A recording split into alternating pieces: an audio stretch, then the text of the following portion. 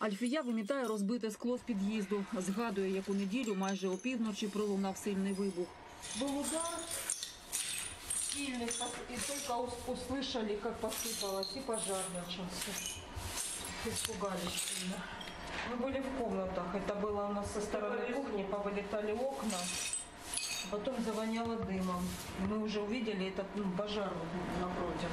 Це була російська ракета. Вона поцілила в дах чотирьохповерхового будинку в середмісті Харкова. Зруйнувала верхній четвертий і третій поверхи будинку. Одразу після удару спалахнула пожежа. Площа склала близько 450 квадратних метрів. Е, Рятувальники оперативно ліквідували пожежу, після чого проводились е, аварійно-рятувальні роботи. Одну особу було врятовано, загалом ще три особи постраждали. Одна літня жінка загинула. Її тіло лишається під завалами. Зараз проводяться роботи з розбору верхніх поверхів, так як е, тіло загиблої ще не вилучили, тому що є небезпека е, обрушення конструкцій е, будівельних. І е, зараз проводяться роботи з зняття розбору верхніх поверхів, чердачного приміщення, верхніх перекриттів для того, щоб можна було вилучити загиблу із е, е, завалів. Жінка знаходилася якраз саме в епіцентрі, в тій кімнаті, куди влучила ракета. Її чоловік е, госпіталізований. Чоловікові 85 років. У момент вибуху він стояв у дверному отворі, і це врятувало його життя.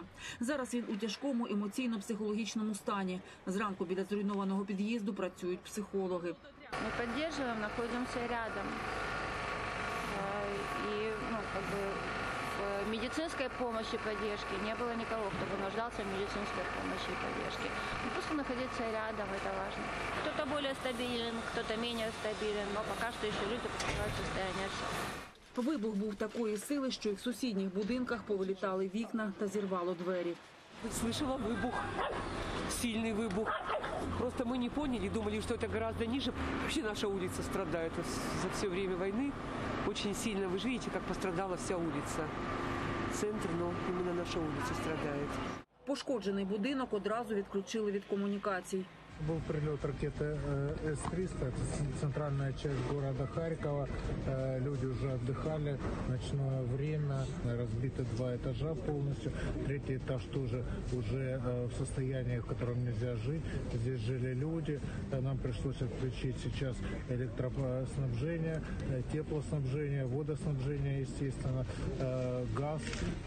Поэтому сейчас будем делать всю ночь таким образом, чтобы остальные подъезды переключить на э, теплоснабжение, чтобы у людей в других подъездах было тепло.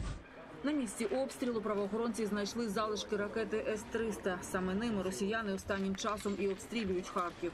Попередньо були запущені ракети системи е, С-300 з території Білгородської області.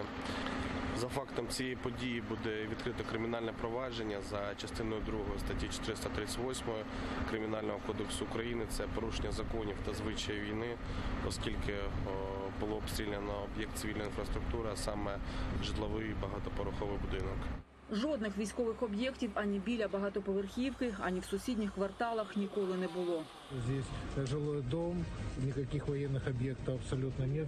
Э, Жили спокойно люди. Відселитися з постраждалого будинку захотіло семеро людей. Їм дадуть кімнати у гуртожитках. Під'їзд, у який влучила ракета, за словами міського голови, розберуть і відбудують. З Харкова з вірою в перемогу Світлана Шикера, Олександр Яновський. Подробиці телеканал Інтер. Марафон. Єдині новини.